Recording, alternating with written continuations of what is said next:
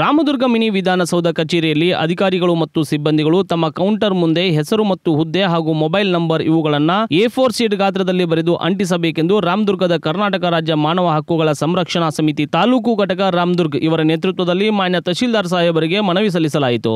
ರಾಮದುರ್ಗ ತಾಲೂಕಿನ ಮಿನಿ ವಿಧಾನಸೌಧ ಕಚೇರಿಯಲ್ಲಿ ಅಧಿಕಾರಿಗಳು ಮತ್ತು ಮಧ್ಯವರ್ತಿಗಳು ಯಾರು ಎಂದು ಸಾರ್ವಜನಿಕರು ಗೊಂದಲಕ್ಕೀಡಾಗಿದ್ದಾರೆ.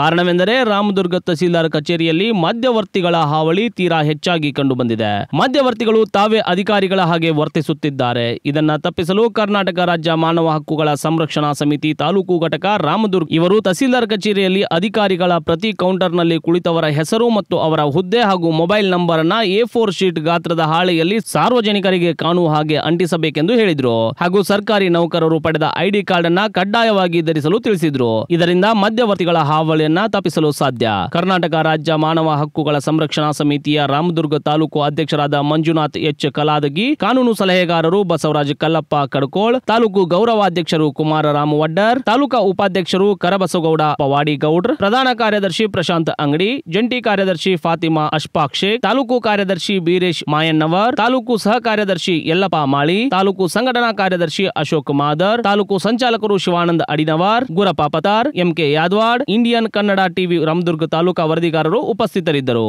ವರದಿ ರಮೇಶ್ ರಾಯಬಾಗ್, ಸತ್ಯಂ ಟಿವಿ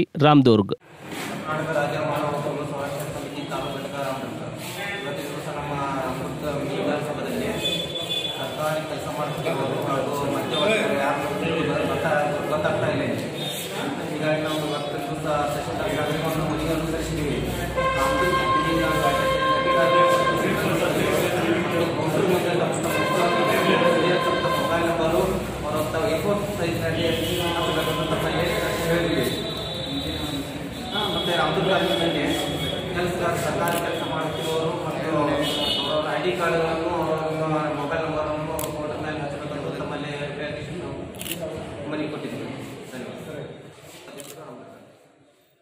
ವೀಕ್ಷಕರೇ ನಮ್ಮ ಸತ್ಯಂ ವಾಹಿನಿಯ ಪ್ರತಿದಿನದ ಅಪ್ಡೇಟ್ ಮಾಹಿತಿಯನ್ನ ತಿಳಿದುಕೊಳ್ಳಲು ಸತ್ಯಂ ಟಿವಿ ಕನ್ನಡ ಯೂಟ್ಯೂಬ್ಗೆ ಸಬ್ಸ್ಕ್ರೈಬ್ ಹಾಕಿ ಹಾಗೂ ಬೆಲ್ ಐಕಾನ್ ಅನ್ನು ಕ್ಲಿಕ್ ಮಾಡಿ.